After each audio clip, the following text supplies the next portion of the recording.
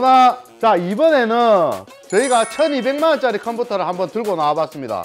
저희 대표님께서 직접 만드셨고 안에 어떤 구성으로 어떤 방식으로 되어 있는지 살펴보겠습니다. 바로 가시죠. 자 먼저 안에 내부를 살펴보기 전에 부품 설명부터 한번 해볼게요. 자 라이젠 미친놈입니다. 3970X 32코어 64 thread 괴물입니다 이거는. base clock 3.7기가 boost clock 4.5기가로 144메가지만 7나노 공정으로 만들어진 CPU로 이미 상대군인 인텔 i9 9980XE보다 20% 이상 성능 차이가 나고 있으며 내년에 개봉 예정인 아바타2도 이 CPU를 사용하여 제작을 하였다고 합니다. 자 메인보드입니다. ROG 제니스 익스트림 알파. 커스텀 수냉에 특화된 메인보드로 세계 최고의 내구성을 자랑하는 고체 폴리머 capacitor로 무장된 전원부와 VRM을 식혀주는 냉각 솔루션이 특징이며 M.2 방식의 NVMe를 DIMM 슬롯 2개, 메인보드 자체 슬롯 2개로 총 4개 장착할 수가 있습니다. 또한 딥러닝이나 GPU 연산 처리 하시는 분들을 위해 3개의 그래픽 카드를 장착할 수 있는 슬롯이 준비가 되어 있습니다. 이번엔 SSD입니다. 삼성전자 970 에보 플러스 데이터 처리 기반의 작업이 많은 용도에 맞춰 안정성과 좋은 성능을 지닌 970 에보 플러스는 이전 성능에 비해 53% 이상 빠른 수준의 SSD로 발열 관리를 위해서 넓은 면적의 heatsink로 마감하였습니다. 자 이번에는 램입니다. 올해 첫 출시된 삼성전자 32기가 단일 램입니다.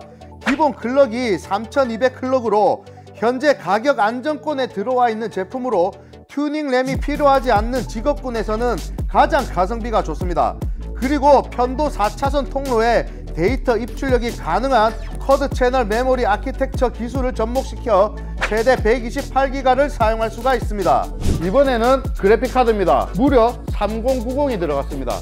RTX 3090 블랙 에디션 EM텍 제품이고요. 무엇보다 EM텍은 AS 이렇게 water block을 달고 parts를 떼놨어도 나중에 AS가 다 된다는 점 숙지하시고요. 자 그리고 RTX 3090을 넣었는데 원래 각광받던 RTX 타이탄 이게 지금 지금 단종이 되었거든요. 그래서 RTX 3090으로 대체를 했는데 성능이면 성능 그 다음에 금액 금액은 거의 뭐 반값이죠. 반값에 같거나 더 위인 성능을 보여준다는 게 상당히 큰 메리트고 아마 구매하시는 구매자분께서도 만족하실 거라고 생각합니다. 그리고 파워 또한 중요합니다. 이번에는 시소닉 SSR 1300W 무려 플래티넘 등급입니다. CPU와 GPU full load 테스트 시에 최대 소비 전력 800W 미만으로 측정되었지만 향후 GPU 추가를 하실 수 있도록 스페어 케이블 많은 모듈형 파워이면서 1300W 제품으로 준비를 하였습니다.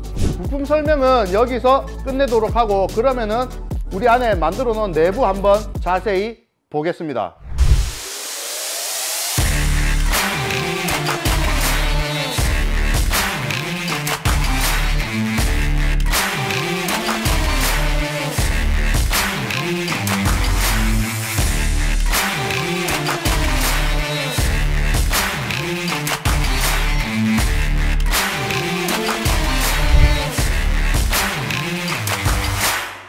자 여러분 custom 수냉 PC를 제작할 때 가장 중요한 거는 build-up이라고 생각을 합니다. 그러면은 어떻게 build-up이 되어 있는지 한번 자세히 볼게요. 자 먼저 우선은 공기 흐름부터 설명을 해 드리겠습니다. 지금 양 사이드로 이렇게 라디에이터가 무려 480짜리죠? 480짜리가 두 개가 설치가 되어 있습니다. 그래서 바깥에 있는 공기를 안쪽으로 흡입을 하는 구조입니다. 양 사이드가 마찬가지로 이렇게. 그리고 상단의 팬에서 이제 배기 밖으로 빠져나가죠. 그러니까 뜨거운 바람이 안으로 들어와서 상단으로 나가는 구조. 이게 가장 베스트 구조입니다. 자 그리고 이번에는 수로 어떻게 flow 되는지 한번 살펴볼게요. 이 펌프부터 설명을 드리겠습니다. 데빌 하트 280 플러스 뭐 악마의 심장이라고 우리 특허받은 제품입니다 그래서 여기서 이제 18W짜리 펌프가 장착이 되어 있고 이 펌프가 일단 물을 이렇게 올려주죠 그러면은 그래픽카드로 들어갑니다. 그래픽카드 칩셋을 한번 거치고 다시 라디에이터로 들어가죠. 라디에이터로 들어간 물은 식어서 다시 여기로 나오게 됩니다. 여기로 나와서 CPU에 들어가죠. 그러면은 또 뜨거워진 물을 다시 이렇게 나와가지고 라디에이터가 식혀주는 거죠. 그 다시 물이 이렇게 순환이 됩니다. 이런 flow로. 자, 아까 설명드린 바와 같이 이 수로 구성을 지금 이 케이스에서 할 수 있는 최적화로 지금 시켜놓은 장면입니다. 자, 그럼 케이스 설명 한번 해드릴게요. 자, 일단은 이 제품은 레진텍의 에리스 에버라는 제품입니다.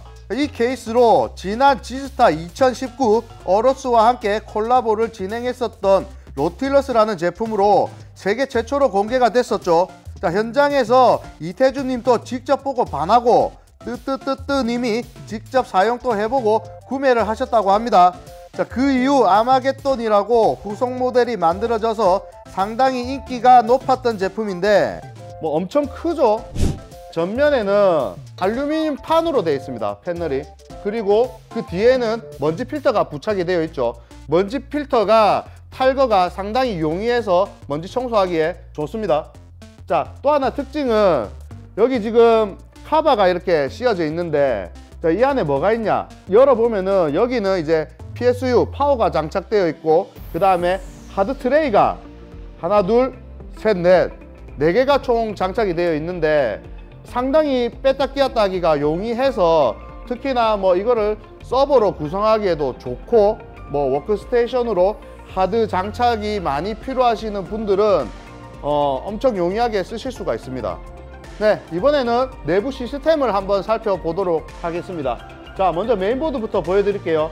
아까 설명드린 제니스 알파입니다. 상당히 뭐 좋죠. 이게 이제 IO 실드인데 시스템이 체크가 되고 있습니다. 뭐 온도라든지 아니면은 어떤 에러가 떴을 때 실시간으로 모니터링이 되게끔 이렇게 판넬에 표시가 되고 있는 장면이고 그 다음에 위에 여기에 다 전원부입니다. 덮고 있는 부분이 그리고 여기에 밖으로 또 팬이 또 달려가 있어요. 안에 보시면은 방열 효과가 좋을 것 같습니다. 이제 SSD SSD를 이렇게 DIMM 방식으로 설치를 해놨는데 왜 그러냐 하면은 여기 지금 보시면은 NVMe 슬롯이 다 있습니다. 있는데 번거롭죠. 뺐다 끼었다 하기가. 그래서 뺐다 끼었다 하기가 상당히 용이하고 그리고 이 재질 자체가 알루미늄 히트싱크입니다.